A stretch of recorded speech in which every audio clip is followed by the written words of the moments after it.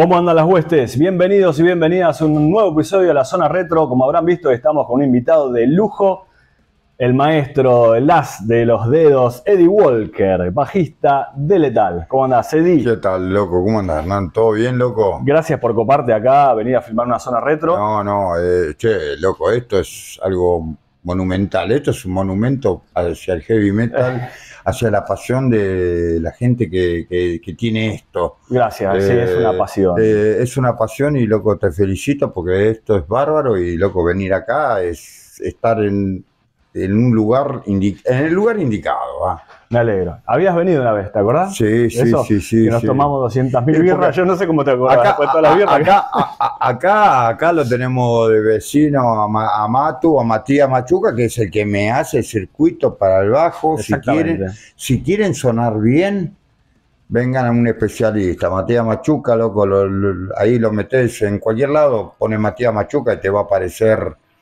chabón que hace circuito y que bueno. Un campeón. ¿En qué anda Letal, Eddie? Y bueno, eh, letal como siempre, tocando. Tocando. Eh, Tienen tocando, ensayando. eh, lo primordial es seguir haciendo lo que sentimos y con la misma pasión de, de cuando empezamos, ¿no? Que este, bueno, es el tercer disco, eh, pero es seguir sintiendo la misma pasión y seguir transmitiendo lo que sentimos a través de nuestros instrumentos o nuestra voz, ¿no? Totalmente. Eh, estamos filmando ahora, pero va a salir unos días. El video cerca de la fecha, tiene una fecha muy importante, presentación de disco nuevo. Eh, Vamos a revolucionar mayo, el 25, justo. El El, 20. día, el día de la revolución de mayo, sábado 25, vamos a estar en el, acá en el teatrito. ah, eh, el teatrito en Sarmiento. Sarmiento al 2000, Sarmiento entre Callao y Rodríguez Peña. Exacto. A una cuadra y media de los delincuentes mayores de la República Argentina, ese Senado y los diputados. Totalmente. Eh, bueno, Che, tiramos tienen un palo. un- yo sé que no se puede spoilear mucho, pero tienen un show preparado, obviamente, Poten- presentación de temas nuevos y obviamente pri- el- Primero, o, o sea, primero, el- o sea, vamos a tocar todo el disco, lo vamos a ir mechando, ¿viste? Pero vamos a tocar todo el último disco que es cosa loca, ¿no? Pero qué, ¿cómo perdimos la costumbre de sacar disco físico? Nadie saca disco físico, cuesta un montón, ya lo Cuesta un montón de plata. eh, yo creo que igual la No gente, se- que, no yo se creo que igual la gente que está en el metal saca disco físico, se hace muy duro, pero eh, el otro día hablaba también con unos amigos y, y eso que de sacar EPs, viste, no sé, bandas como Emperor sacan EPs y cositas, y ahora ya se les está pasando esa onda, es como que vuelven. Me acuerdo que en la discusión esto terminamos hablando, como te acordás cuando decían, no, ya fue meter solos punteos en los temas. Vamos a simplificar, cuando apareció New Metal y Sí, todo claro, Y cuando fíjate ahora cómo meten punteo hasta en el orto, por todos lados. Sí, Lleno por todos lados, Volvió. eh. Fue algo que no funciona. Eh, eh, si la máquina funciona bien, ¿para qué la van a cambiar? Y a- aparte es más, eh, creo que toda la cultura de, de la música por algo es que si- siempre funcionó de una forma.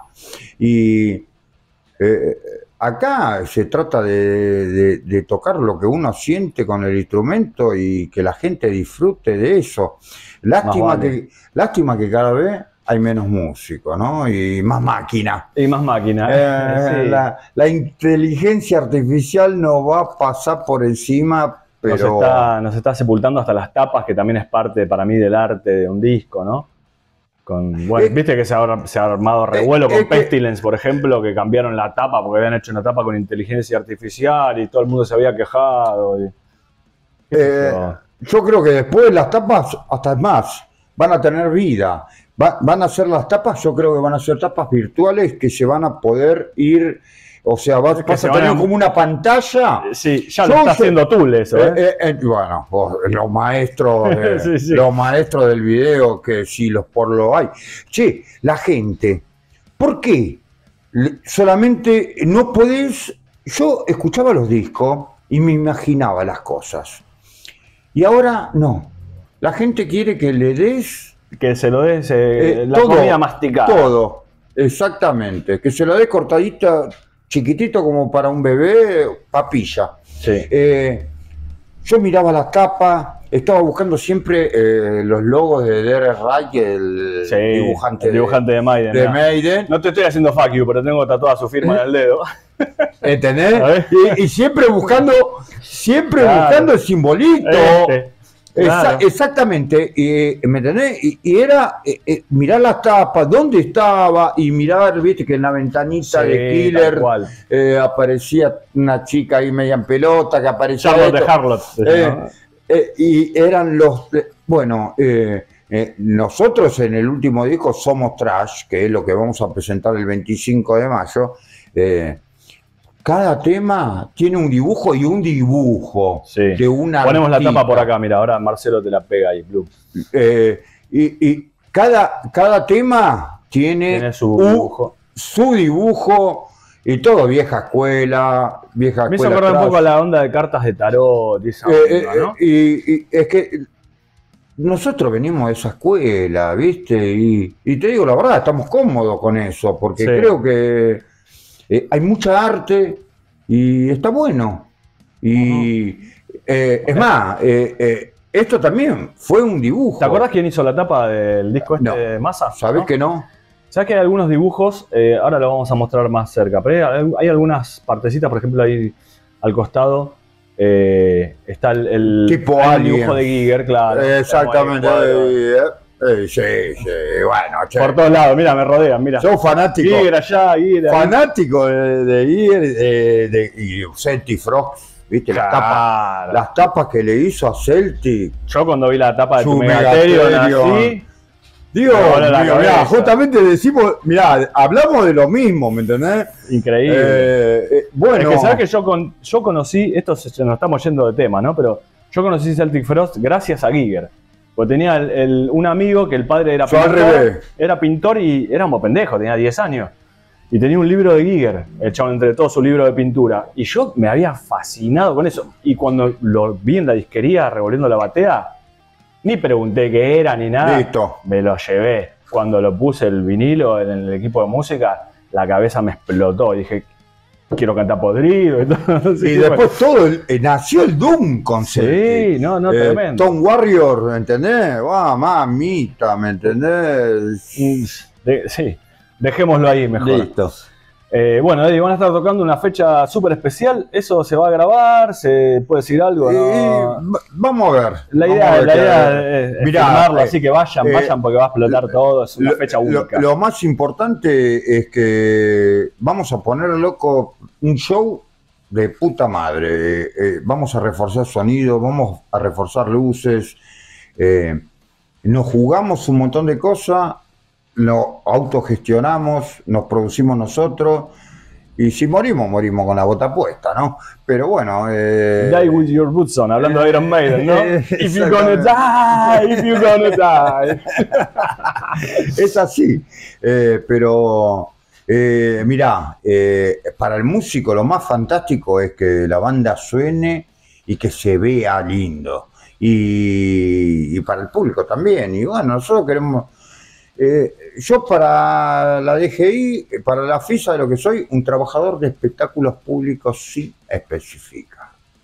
Así estoy registrado yo. Un travesti de la música.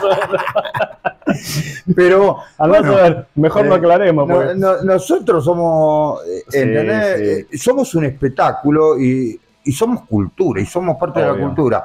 Que estemos tan alejados de los medios culturales, ¿por qué? Porque Porque nos aleje, porque nos alejan Nos porque alejan. decimos cosas que no le gustan que escuchar. no le gusta escuchar. Y bueno, eh, pero hay que decirla, alguien la tiene que hacer, alguien tiene que hacer el trabajo sucio. Bueno, Sí. nosotros vamos a seguir haciendo. Espero que esté funcionando bien el microfonito ahí que se Está, está- está, está verde. Sí, Sí, sí, estando sí. verde, sí, creo que sí. Acá Bueno, está, eh, ¿qué te llevó a tocar el bajo, Eddie? Steve Harris, seguramente. Sí, Harry. una pregunta que ya tenía Harry. respuesta hecha, obviamente. Harris, Harris, Harris me agarró Ya tiramos todo, y Harry me agarró y me voló la tapa de- del cerebro. Ni sabía que era un bajo, eh, Claro, posta, una guitarra con pocas sabía. cuerdas. Eh, era una guitarra que estaba tocada con dedo. Y, y lo que más me gustó era eso, que Tocar con dedo. eh, tocar con dedo, el sentir eh, la presión sobre la cuerda, que todo lo otro. Y después, bueno, fui descubriendo a Geezer Butler y a Billy Sheehan y a todos los. Butler, Pablo- bueno, Billy Sheehan obviamente sabemos que es un monstruo, pero Geezer Butler, viste que está como medio tapado el tipo. Pero es- Y lo- Es la bomba. el racismo de poronga que tiene y cómo le pega es importante. Eh, es, tiene unos. eh, Black Sabbath tiene es, unos detalles de bajo eh, para mí que son eh, exquisitos. Son exquisitos. Y, Muy rockeros, muy dumbetas, muy es- esa cosa que bueno, que explotó el Stoner. Y aparte, bueno, gracias a él. bueno, eh, También y- más allá de decir Yomi por la afinación, ¿no? Pero el- la pesadez que le pone la música también, Butler tiene una cosa. ver. Y, y- vos, fij- vos fíjate, escuchá a Ozzy cuando está con Geezer Butler y Sí. suena, suena a otra cosa. Osmosis, por ejemplo. ¿Entendés? Suena a otra cosa. Butler eh, lo amo, loco. Aparte es más, eh, mirá, eh, eh, discos piratas de Iron Maiden, Mm. 6, 7 debo tener grabados. Eh, de Black Sabbath debo tener más de 20. O sea que ¿Por lo qué? tenés ahí un corazoncito importante. ¿Por, por qué? Y porque todos los de Iron Maiden eran igual a los discos, igual. Claro, O sea, todas las líneas son igual. La de Geezer Butler, tengo todas versiones diferentes. Un zapador. ¿Viste como le decimos en la música? Sí, zapador sí, es el tipo que sabe lo que tiene que hacer, pero no respeta los límites y se va a otro lado. Bueno, Geezer Butler, eh, yo me identifico mucho más tocando el estilo de Geezer Butler que de Steve Harris. Yo empecé como Steve Harris, pero Steve Harris eh, toca todo en vivo como grabó en el, en el disco. Y Sí. Geezer Butler, no sé, te Se lleva... va a la mierda. Y bueno, Zapa. eso está re bueno. Y yo soy un zapador. Y por eso vengan a verme, porque no te voy a tocar una línea igual a la que te grabada. No, No. vuela toda Va. la mierda. Va a sonar como tiene que sonar la banda, pero con otro toque. Y dependiendo, ustedes van a influir. Porque, loco, la vida es un boomerang. Lo que tirá, Obvio, vuelve. vuelve. Eh, y yo cuando estoy tocando recibo tanta energía y la tengo que devolver. Yo sé que la tengo que devolver. Porque si no, exploto de energía, loco. Y bueno, Te, te he visto muchas veces en vivo y doy fe de eso que decís. Eh, entre la gente. Es más, una vez te vi tocar y vos estabas entre la gente y la gente, ¡eh! Eddie, Siempre. Eddie", sacándose fotos, toma una birra, tomando una birra. Y yo te dije, Eddie, ¿por qué no te, estaban to- todo el resto de la banda estaba en el camarín? Y dije, ¿por qué no te vas allá, allá que está, está regedido con todos los Willy y no paraban así un par de horas? Y vos me dijiste, yo me alimento de la energía de la gente. de la energía. Y después la tengo que salir a devolver. Es así. Para mí es así. Yo estoy abajo. Aparte que más. Soy fanático del heavy metal y del heavy metal. Mirá, vos tenés acá un montón. Pero yo debo tener todo esto. Mirá, Mm. este tercio de todo nacional. De metal nacional, sí. todo de metal nacional y de toda la República, desde la Tierra del Fuego hasta Jujuy. Hasta, hasta la Quiaca. Exactamente. Eh, eh, y tengo de todos.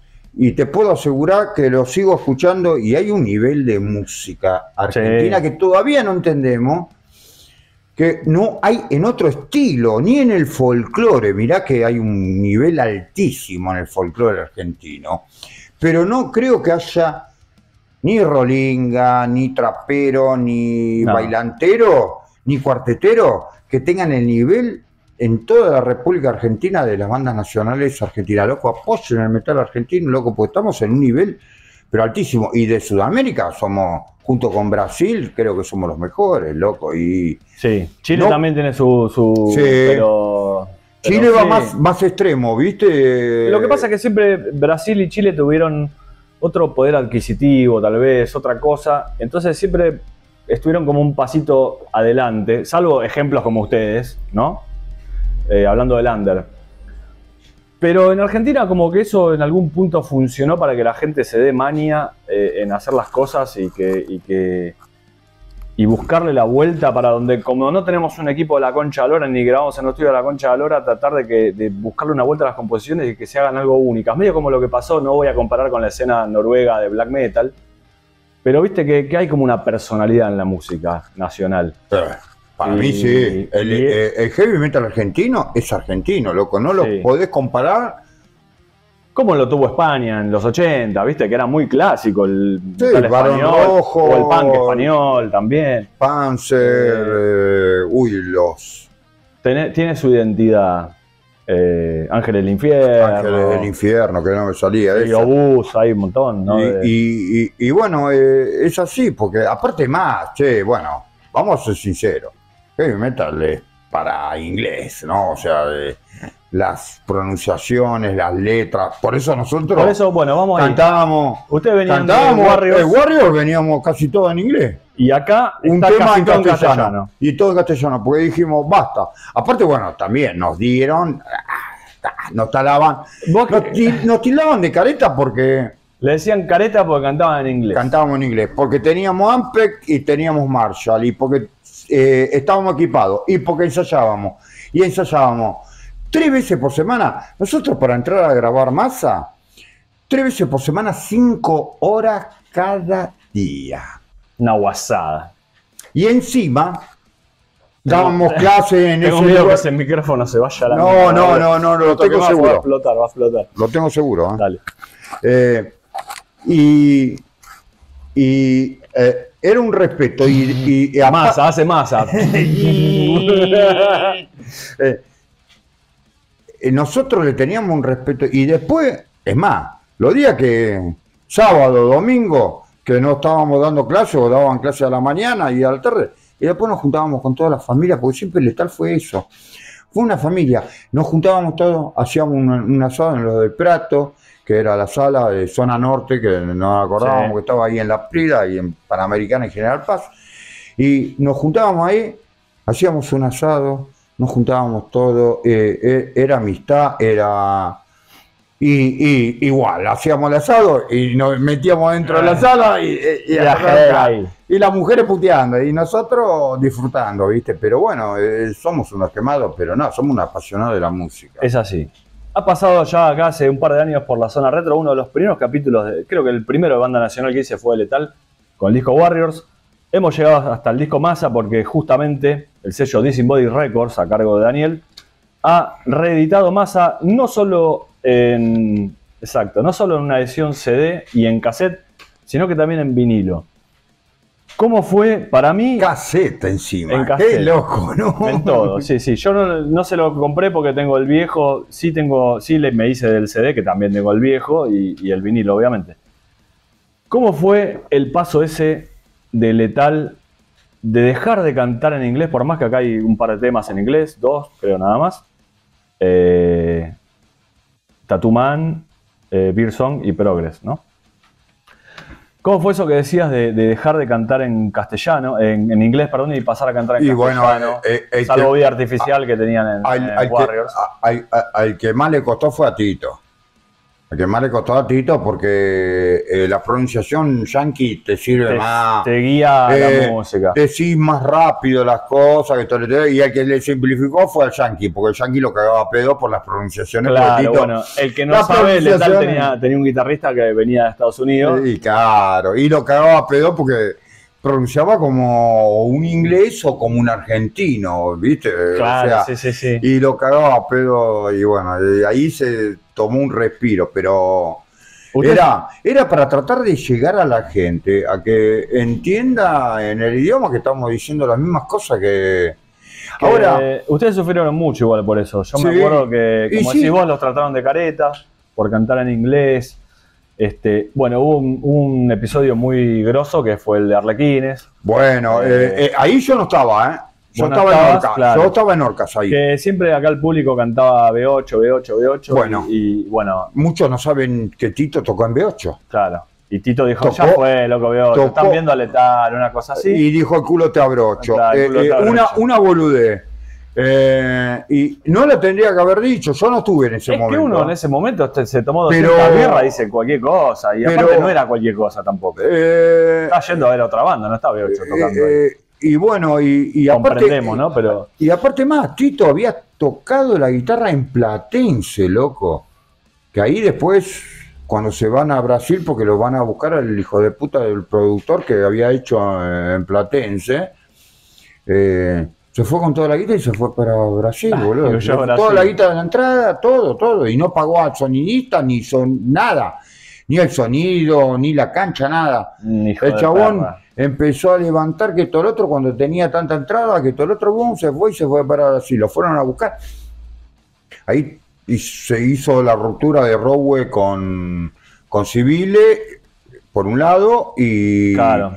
Eh, Beto y, y- y Ricardo por el Ricardo otro. por el otro, ¿Me claro. entendés? Y que lo fueron a buscar. Bueno, Tito fue el quinto integrante en ese recital en Platense.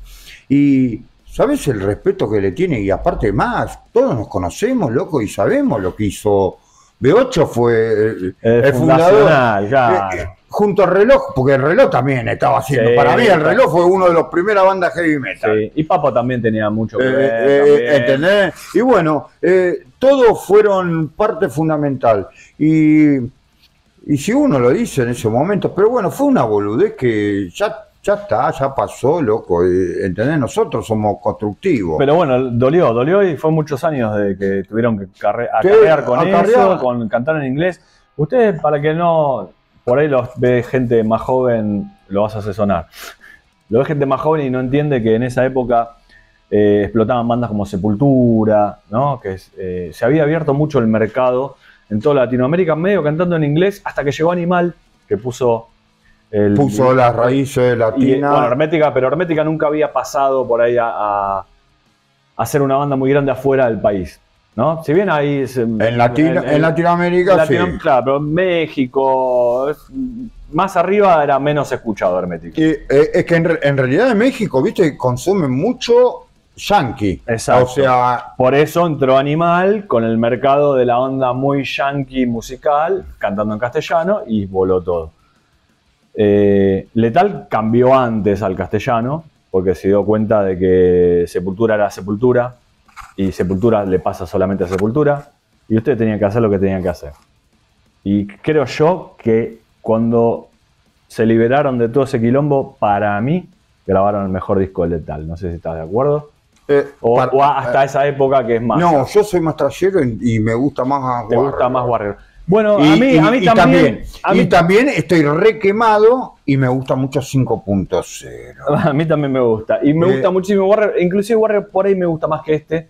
Pero no me refería al gusto personal, sino a que explotó. la Eh, gente. eh, loco, la vendimos, gente lo agarró. ven- vendimos un montón de copias, boludo. Eh, cuando grabamos. a mí también me gusta ahí un poquito más Warrior. ¿Pero este suena un poco mejor? O- Eh, sí, este suena, es- este suena mejor. comercialmente está mejor hecho. De alguna manera, por decirlo así. Lo tuvimos que llamar a Mario Altamirano para mezclar, porque nuestro sonidista, que era Fabián Giordano, amigazo, tipazo, era para en vivo. Cuando estuvo en- adentro del estudio, no nos gustaba cómo mezcló. No, no iba. Y tuvieron que mezclar todo. Y tuvimos que mezclar todo y lo tuvimos que llamar Altamirano, que era el sonidista de. Animal, ¿no? Claro. Un campeón, Mario. de eso. Saludo a Mario, eh, un campeón y nos salvó las papas porque, viste, che, loco, las teclas son para gente. Eh, lo grabamos, me acuerdo que.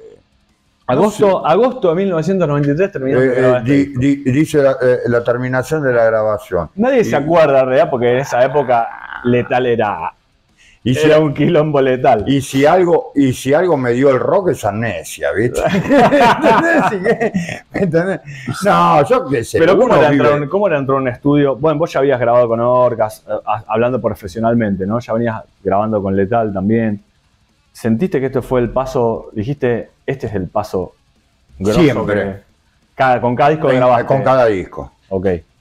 Cuando entras a grabar el primero ya no, no entendía nada. Yo tenía 19, 20 años, loco. Me temblaba toda la pierna. Cuando, cuando Osvaldo me agarra y me dice, Eddie, tenemos 36, 37 minutos de música. Estamos en el horno. Hacete, Ah, esos, hacete esos chirimbolos. Los chirimbolos, Lo, le chirimbolos, decía lo conté en el video. a los tapping.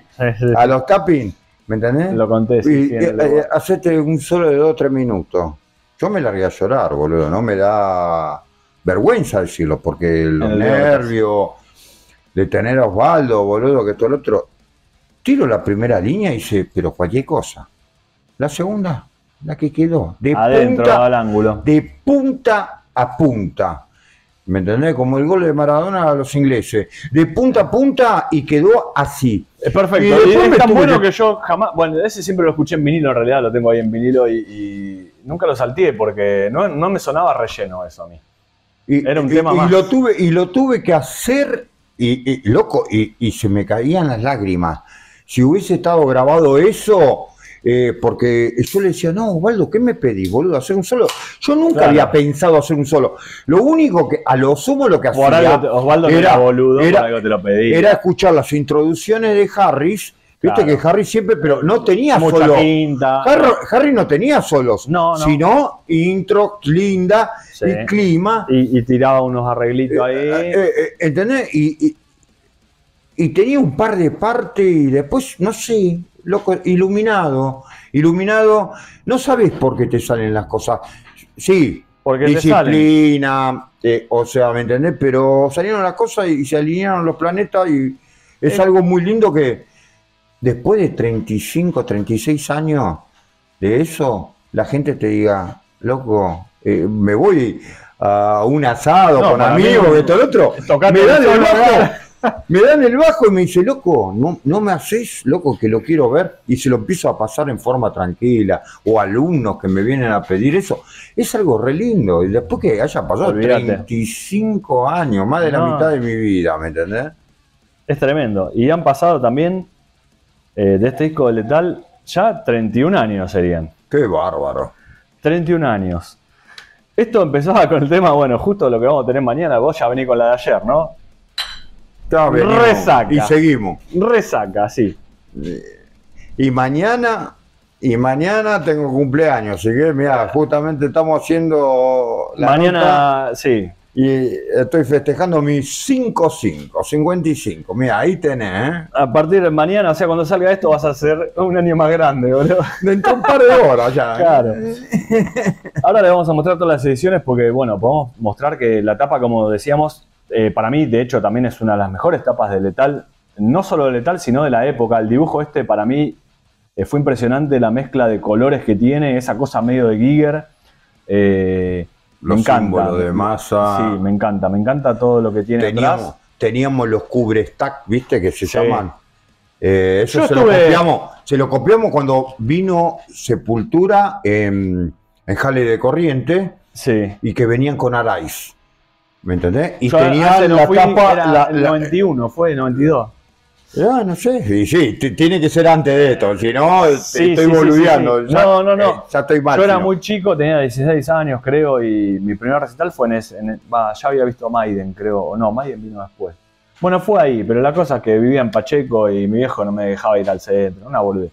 Pero entiendo lo que vas, de que siempre estaban eh, con los ojos abiertos para progresar y, y, y Y aprender.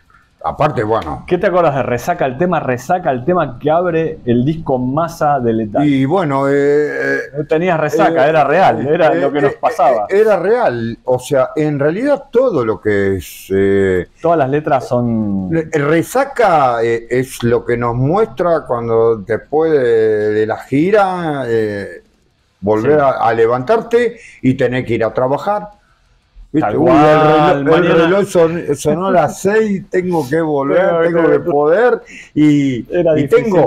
Y, y era así, y bueno, todos, todos laburamos, ¿entendés? No es que nunca, que, que vivimos de la música, ¿me entendés? No sé. Somos Y la pocos. música empezaba con unos. Ya tenía onda, ya tenía mucho bajo. También entramos con unos bajos importantes. Pero bueno, Letal siempre tuvo bajo, porque el primer Sí. bajo también Pablo Álvarez, También. un excelente bajista, eh, tenía una línea muy...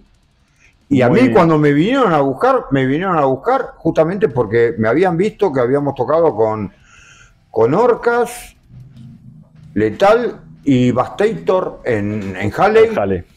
¿eh? Eran, eh, éramos tres bandas y me habían visto y los locos me vieron y me dijeron... "Apa". Es que no era, no era. No era muy común tampoco ver un bajista, eh, no porque estés al lado mío, que le pegue con la onda que le pegas vos con los dedos. Y el Gracias, bajo que lo, pero- que lo cagabas a trompada. O sea, que cae, que cae a trompada el es, bajo. que, es, que, es que para mí es eso. eh, eh, eh, como vos dijiste, somos un, em- un elemento, para mí el bajo es el corazón de la banda.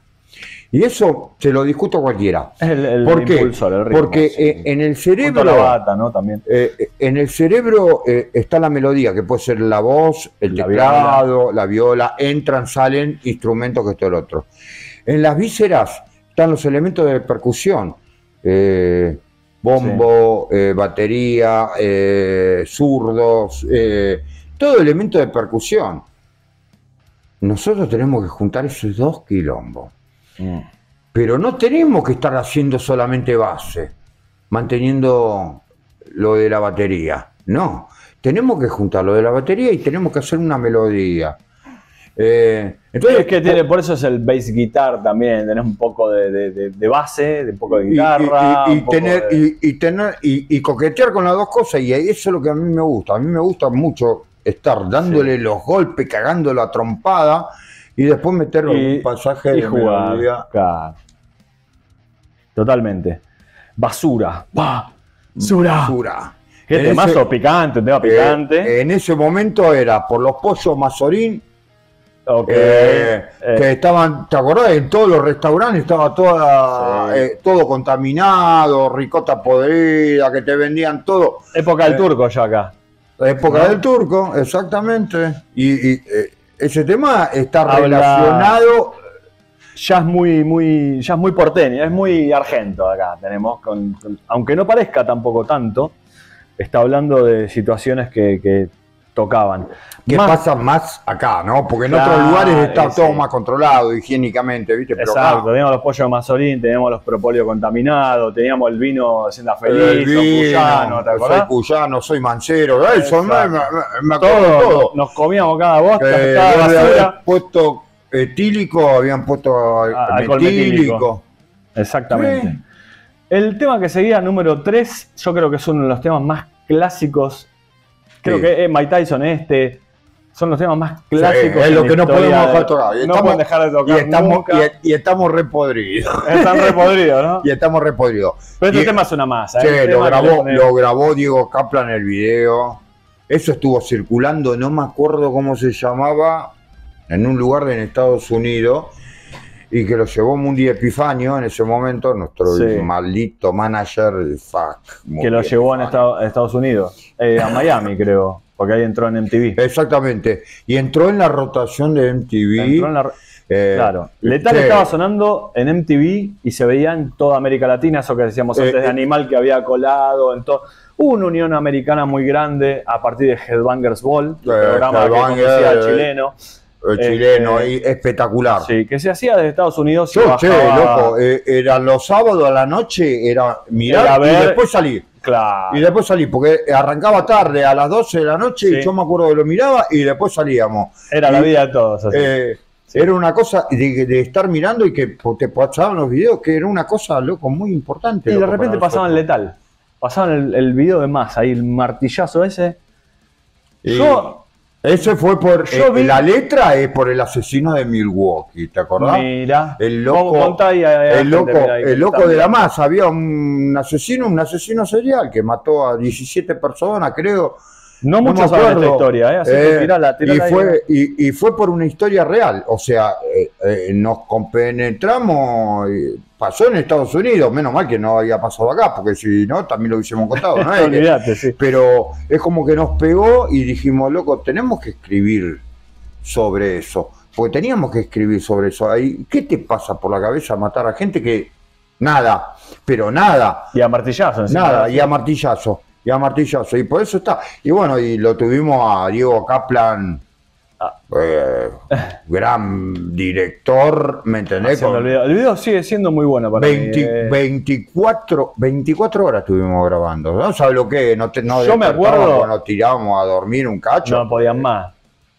Me acuerdo el día que presentaron el videoclip de Massa en Cabildo, cerca de Puente Saavedra, en New Order. Yo New fui Order. ese día. De ahí yo me caí. Tengo la entrada por algún lado.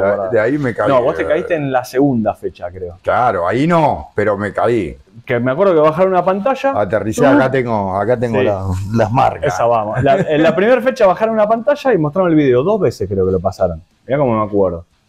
Y en la segunda fecha, creo que fue la semana siguiente, vos te caíste del escenario. New Order, un escenario tenía eh, dos metros y medio de No, altura más. o más.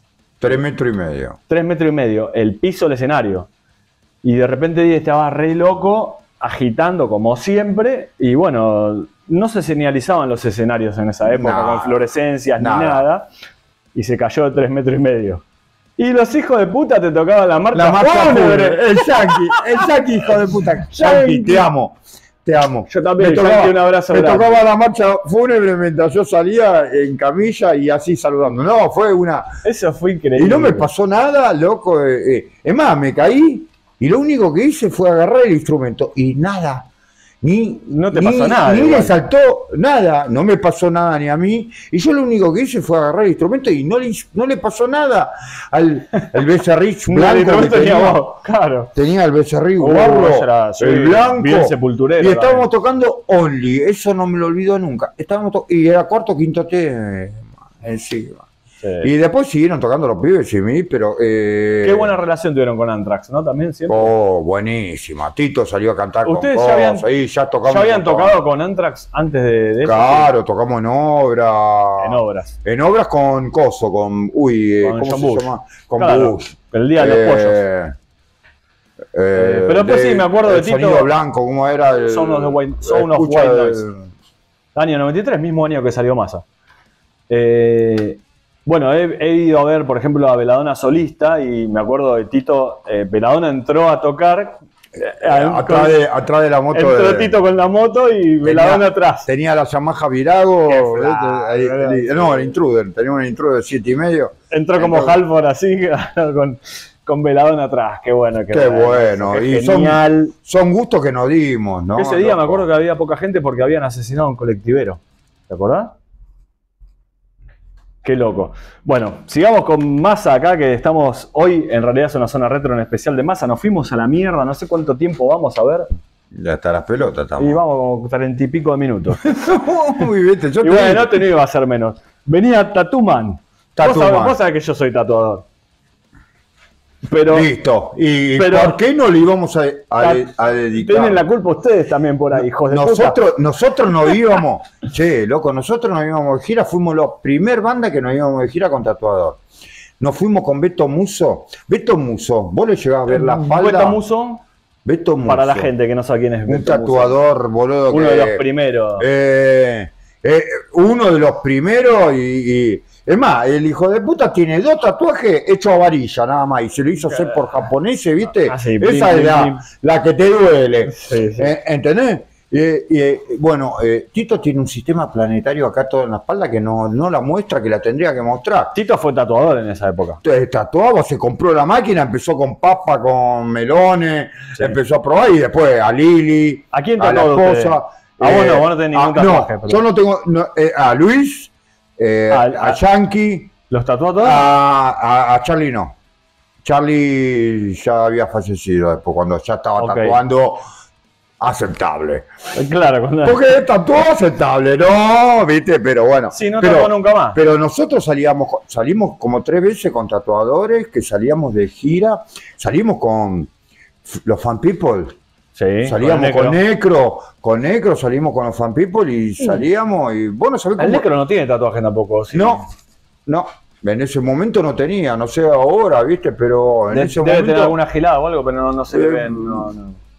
No, no, no, creo que no. Bueno, pero, usted le hacía una canción a los tatuajes. eh, eh, Tatuma. a, a lo- a los Y ta- empezaba- a las tuotas- eh, ah, ah, ¿Qué? ah. Explicarle a la gente que Eh. ese sonido es real. Eh, el sonido era eh, sí, eh, es un eh, tatuaje. la máquina y gritando Charlie. Charlie gritando, nada más. Está No, Charlie- no, no es que lo estaba tatuando. Que no lo había tatuado Tito No, encima. no. O sea, no, nunca lo tatuó Tito y le Tito primero probó con, con Lili, con la señora, y después con el Yankee, que le hizo un muy buen tatuaje también a Yankee. El tatuaje del, hizo el brazo acá desde el Yankee. No, ese no, ese lo hizo Ah. otro loco, no me acuerdo quién. Beto Muso tampoco lo había hecho, no me acuerdo. Aparte quién. estamos hablando de un personaje que tiene una remera puesta que dice Viva la Pepa. Viva la con esa Pepa. remera tocaba siempre en vivo, tocó con Sí, Sepultura en vivo con estaba- esa remera. me Estaba acuerdo, buenísimo. con Viva la pipa. Y la pepa de la joda, ¿me entendés? No solamente por la. lo- ¿entendés? No, obviamente en esa época no me va a chamullar. Sí, bueno, sí, sí. Pero hace poco subí un video eh, publicitando la fecha que van a tocar ahora eh, con unas pepas, con la galletita. Muy gracioso.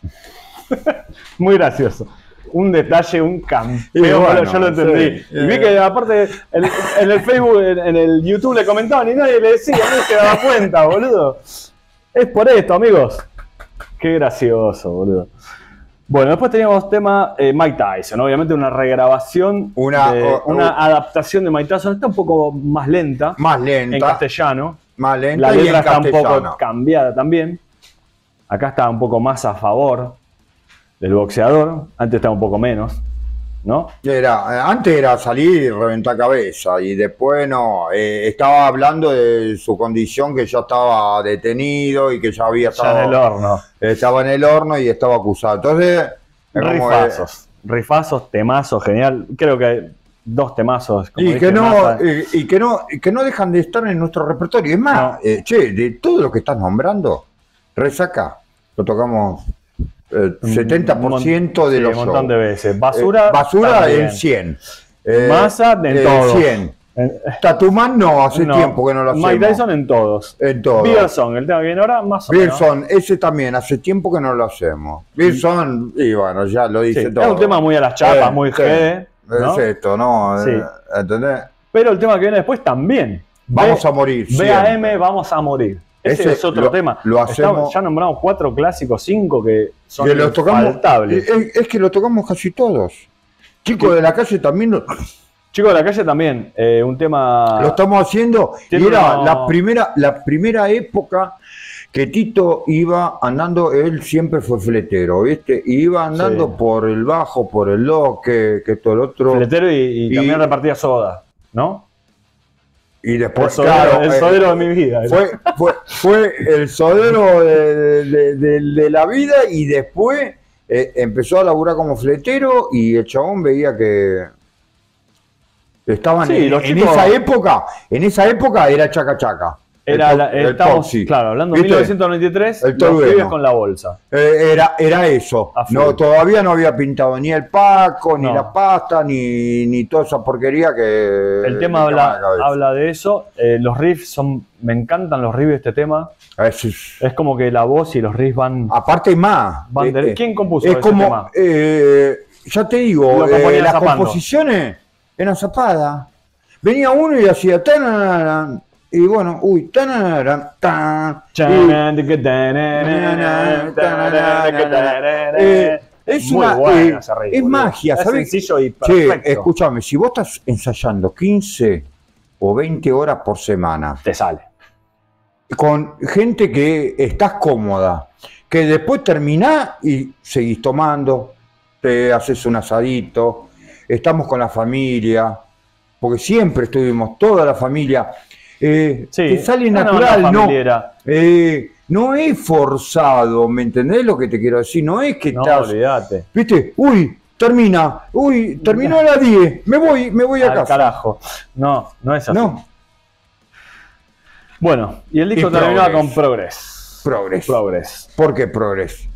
Progres, Eh, con símbolos de pregunta. Porque progreso, de- claro. progreso. Mm. Y bueno, mirá lo que nos lleva al progreso, a la destrucción a veces. Un poco O sea, la eh, es improgress, Y ¿entendés? claro, sí, sí. Por eso están los símbolos de pregunta. Eh, eh, ¿no? por eso están los símbolos. Progreso, o sea, porque tratamos de evolucionar, ¿no? Siempre, eh, pero muchas veces estamos muchos pasos atrás cuando queremos evolucionar.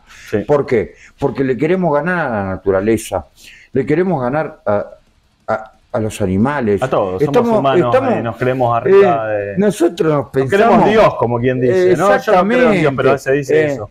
Y yo quiero ver a, a los empresarios de las petroleras, todo- Ah. todos los desastres que hacen. Eh, ¿Qué les dejas a tu nieto, a tu hijo? Vos te pensás. Nada, y ustedes dejan arte. Tengo este cassette de Guachín, hermoso. Tengo este CD de Guachín, hermoso. Tengo este disco que gracias a Esto Dani de, de- de Records, Dani, Dani, gracias, lo loco. puede tener cualquier persona porque se consigue, porque era muy difícil conseguir el disco Masa Letal. ¿Eh?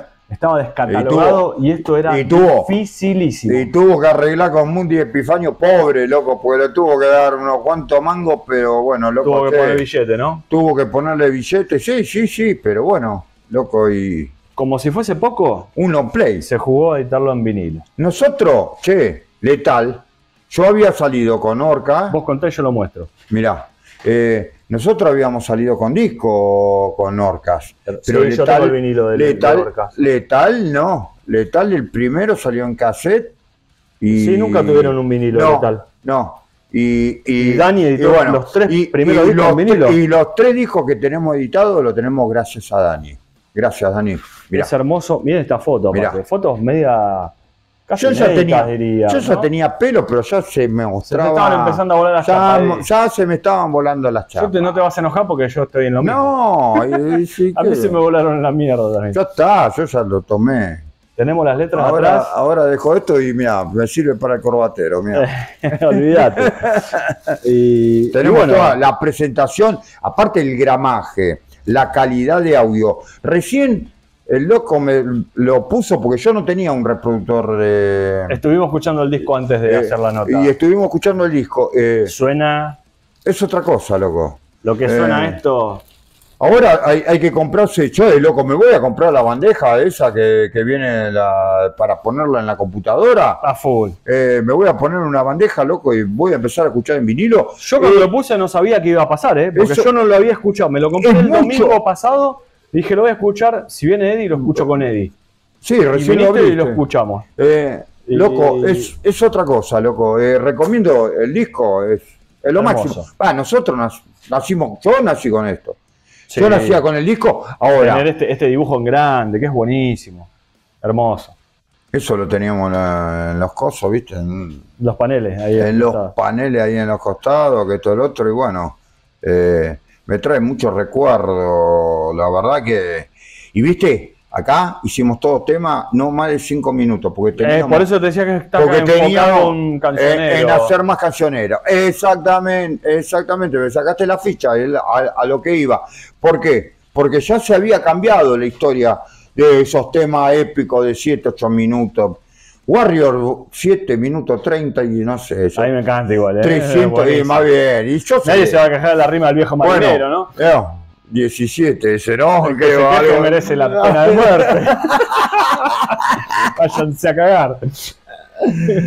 Ay. O vayan a morir. De- Porque de- ha pasado che, aquí. la- eh, el peor de todo, Delirious Tremend de Oh. Mike Patton con, ¿cómo se llama la banda esta que están requemados? Eh, Fantoma. Fantomas. Con Fantoma, 53 minutos. Ah.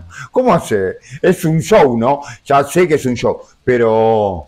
Nah, Tan loco, boludo. ahí están locos. Pero bueno, viva Ha pasado hablando de loco, acá tenemos un maestro, un loco lindo, uno de los grandes del metal nacional. Gracias, Eddie, por haber pasado. No, gracias por estar acá, loco. Un beso a todos, en realidad. Siempre les mando saludos, pero hoy estoy obnubilado. acá. Apoyen el metal nacional, loco, a todos, loco. Nos vemos cuando es la fecha. El 25 de mayo, Revolución Letal, en el teatrito. Eh. Vamos a estar presentando Somos Trash, más un montón de temas más con músicos invitados. No sean caretas. Exactamente. Chao.